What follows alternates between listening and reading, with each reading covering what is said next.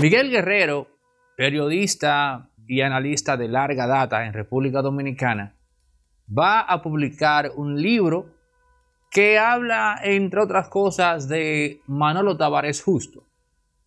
Yo particularmente ya eh, no tengo ese, digamos, ese hábito inmaduro, lo dejé hace como 20 años, de opinar categóricamente sobre un libro a partir del título. Son cosas que yo dejé en mis 20, ya tengo 40 años. Y yo sé que un libro hay que leerlo para opinar con propiedad de él.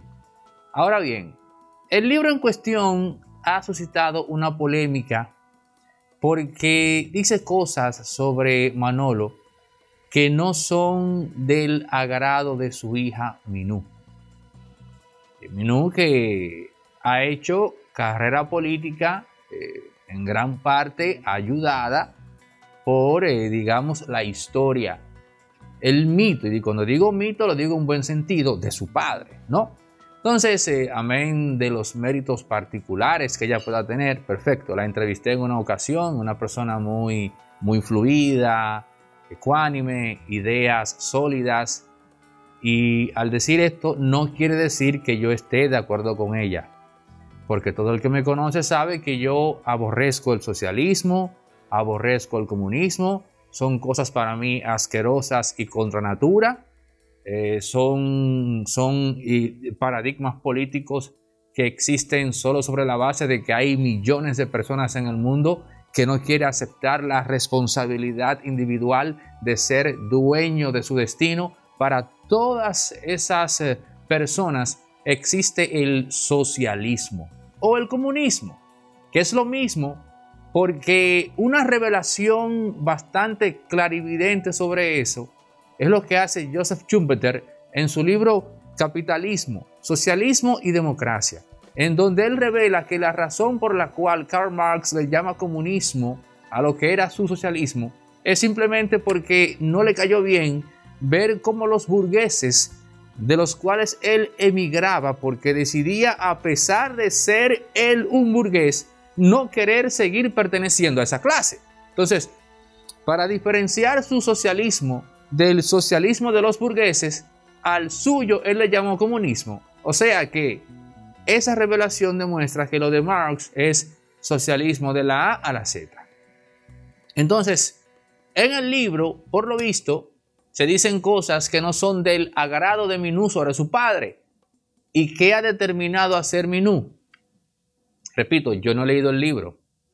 Miguel Guerrero tendrá sus ejemplares bien hará en hacerme llegar uno, yo se lo pago, me lo, hace llegar con el número de cuenta y se lo pago y lo leo, pero bueno, entonces ella dice que atento a ella, ese libro no se va a publicar en República Dominicana. Nómino. Eso no es así. No estamos en una dictadura comunista. No estamos en un régimen socialista. Que sepa yo, hay que preguntarle al presidente. Puede ser que estemos en un socialismo psicorrígido y no lo sepamos. Pero bueno, que tú vas a impedir la publicación de un libro. Yo he leído libros desagradables. He leído libros de gente que dice cosas sobre gente que me agrada, que no me gustan. Y en mi vida me ha pasado a mí por la cabeza sugerir que tal libro no debe circular. Yo odio, por ejemplo, el socialismo y el comunismo.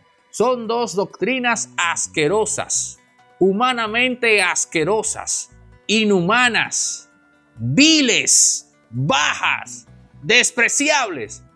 Pero yo no tengo ningún problema en leerme a Eric Hobsbawm. Yo no tengo ningún problema en disfrutarme a un eh, Eduardo Galeano. Siempre y cuando sean autores que sepan exponer con gala, con, eh, eh, con, con, una buena sintaxis, que sepan exponer sus ideas. Da gusto leerse Age of Extremes de, de Eric Hobsbawm, la historia de ese señor, el patriarca de la crítica socialista al, al capitalismo en el siglo XX, Eric Hobsbawm. Su historia del siglo XX, lo tengo ahí, ese libro que bien haría Dios en darme tiempo para volver a leerme ese libro. Es un libro exquisito cómo él explica el fracaso del socialismo y el comunismo en la Unión Soviética. O sea, las razones que él da y cómo él expone cada idea y cómo habla del desarrollo de la ciencia y la tecnología en el siglo XX y cómo eso cambió la humanidad y otros tantos temas, cómo narra la Primera y Segunda Guerra Mundial. Brillante. A pesar de que es un autor que es el, repito, el patriarca, el lexema del socialismo en el siglo XX, Eric Hobsbawm. Pero yo no tengo ningún problema en leérmelo. Y así debe ser, así debería ser, hija mía, Minú. Mario Herrera, ven acá, por favor. Mario Herrera, estamos grabando, dame las credenciales de Minú.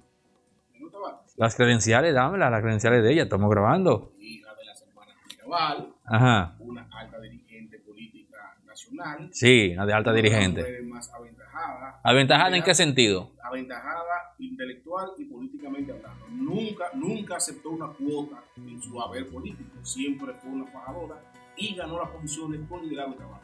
Yo no, yo no refuto eso. Ahora, tú entiendes que está bien que ella quiera prohibir un libro porque por el, por el hecho de que en ese libro se dicen cosas que no son del agrado de ella, de su padre. Bueno, ella pudiera, yo, yo le acepto que ella pudiera pelear por eso para que se haga la, la corrección que ella entiende. Ahora, de vetar la libre expresión, no. Bueno, bueno, pues eh, en eso estamos, en República Dominicana. Minú, estás a tiempo de recapacitar, si tú quieres, pero nadie que sea amante del libre, eh, del libre tránsito de las ideas te va a apoyar en eso. Si no me equivoco, si no me equivoco, según tú me dices a mí, tus padres pelearon y sacrificaron su vida por la libertad. Eso es lo que tu familia me ha dicho a mí. Entonces, eso que tú estás haciendo va en dirección opuesta. ¿Mm? En dirección opuesta a lo que se me dice a mí que por eso fue que pelearon tus padres. Y estoy siendo frontal. Yo no sé si, obviamente tú tienes más claro que yo, cuál era la ideología política de tus padres. Si eran comunistas, si tú lo sabes perfectamente, bueno, porque hay un debate con eso también.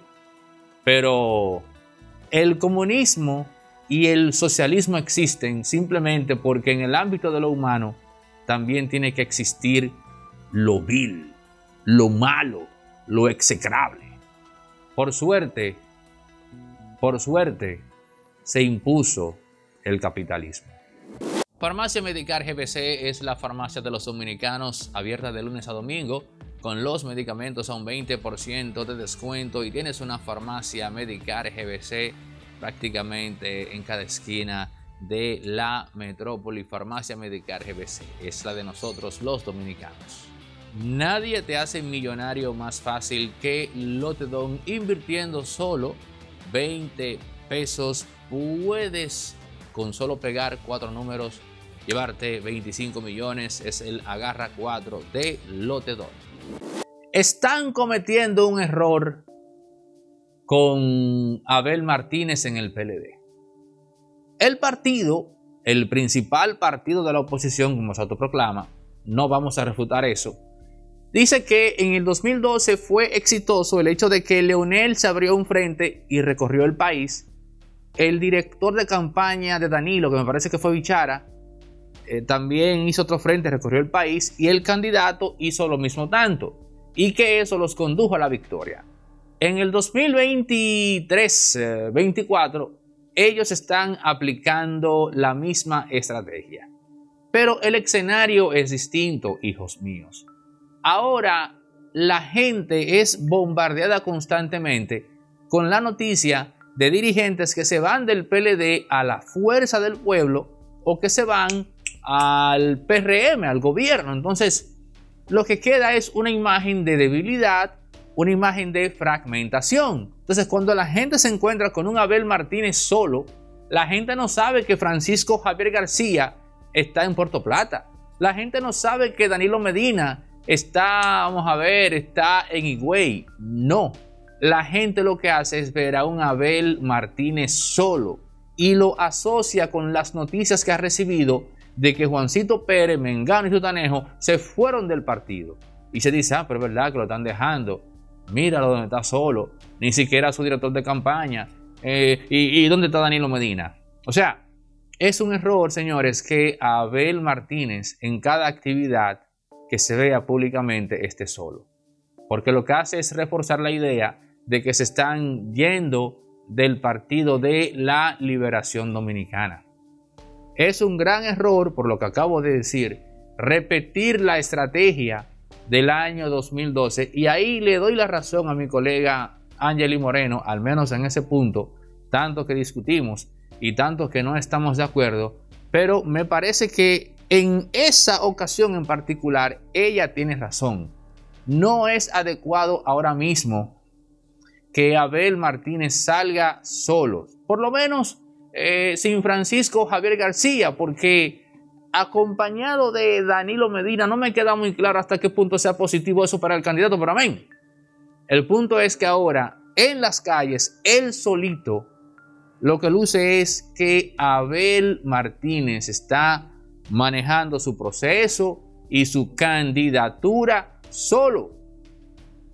No es, eh, digamos, acertado en esta vuelta adoptar lo que ocurrió en el 2012. Además, tenemos que recordar, tenemos que recordar que en el 2012 teníamos, teníamos un único candidato con el cual competía Danilo, que era Hipólito. Y en esta ocasión, Abel Martínez no se enfrenta a un candidato. Abel Martínez se está enfrentando a dos candidatos. Ustedes saben que uno es Luis Abinader y el otro es, el otro es Leonel Fernández. Naturalmente, aún están a tiempo de corregir, de, de arreglar eso, para que el candidato no luzca en cada exposición pública cual si fuese un llanero solitario. Tenemos un apartamento en venta en los clasificados en la Avenida Independencia, kilómetro 9, en Buenos Aires del Mirador, un tercer nivel con 118 metros, tres habitaciones, la principal con baño eh, tipo jacuzzi y walking closet, habitación secundaria con amplio closet con diversos departamentos, con gavetas y organizador de calzados.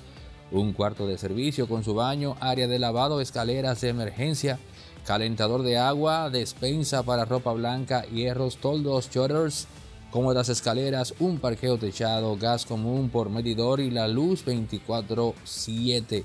Además de seguridad y portón eléctrico, tiene una amplia sala decorada con una hermosa pared tipo mármol perla, techo en Chiroc, el comedor con una relajante vista panorámica, cocina moderna con luces, sensores de movimiento, extractor profesional en el 829-741-3061. 829-741-3061. Pueden contactar con Charina Hernández para visitar este acogedor apartamento. Apartamento en los altos de Alameda. Miren las fotos en sus pantallas ahora mismo y escuchen todo lo que tiene este apartamento amueblado. Alquiler en tan solo 40 mil pesos. Oigan esto. Tiene sala, comedor, cocina, dos habitaciones, dos baños, dos parqueos, sala de estar, calentador de agua, dos aires acondicionados, lavadora, secadora, inversor. Y tiene servicios incluidos de teléfono, internet, mantenimiento, gas, gimnasio excepto la electricidad. Miren esas fotos y no solo el apartamento como tal, sino lo que se escogió para amueblarlo, simplemente muy bello. Nos pueden escribir al 829-741-361, repito, 829-741-361 y les ponemos en contacto con Charina Hernández, nuestra representante de bienes raíces.